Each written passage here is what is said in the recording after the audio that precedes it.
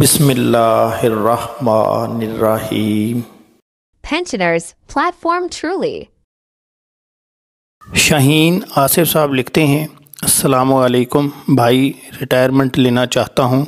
अगर आप तखमीना वगैरह बता दें अगर कहें तो मैं अपनी तफसील आपको अरसाल कर देता हूँ। इसी तरह वकील अब्बासी साहब लिखते हैं क्या आप मेरी पेंशन चेक करके बता सकते हैं मुझे सही मिल रही है या नहीं? कॉमर्स एजुकेशन टीवी चैनल के क्याम का मकसद, गवर्नमेंट मुलाजमीन, पेंशनर्स और कॉमर्स के तलब तलबात की फ़लाह बहबूद है। आपके जहन में कोई सवाल हो या आपको कोई डाटा चाहिए हो, नोटिफिकेशन चाहिए हो तो आप हमसे बिला झिझक मांग सकते हैं, पूछ सकते हैं। इसी तरह अगर आपने अपनी पेंशन का हिसाब लगवाना है तो हमें मतलूबा डाटा जो है फ्राहम करें, हम आपकी पेंशन का रफ़ एस्टीमेट लगा देंगे।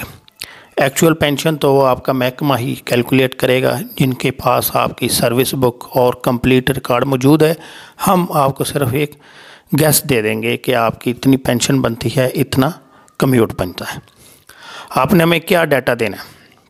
आपने हमें अपनी रनिंग बेसिक देनी है, जो कि आपकी पे स्लिप में शो हो रही है।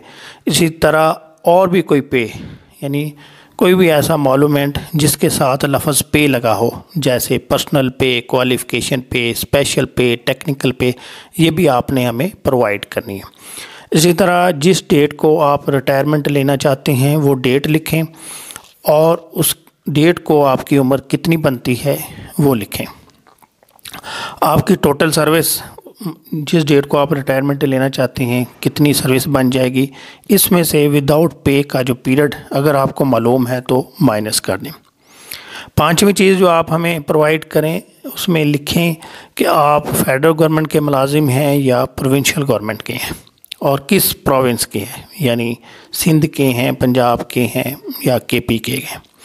और लास्ट में आपने हमें बताना है कि आपका स्केल कौन सा है? किस स्केल में आप सर्विस कर रहे हैं?